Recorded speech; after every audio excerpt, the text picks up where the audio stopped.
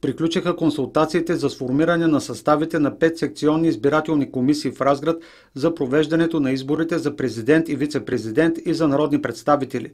Две от комисиите са подвижни, като едната е за избиратели с трайни увреждания, а другата за лица под карантина. От останалите три комисии, две са в многопрофилната болница в Разград, като има и една в районна служба изпълнение на наказанията.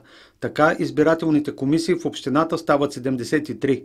Общо в петте допълнителни секции ще работят 33 човека. Съгласно методическите указания на ЦИК е направено разпределението по партии на ръководните и редовите места в комисиите.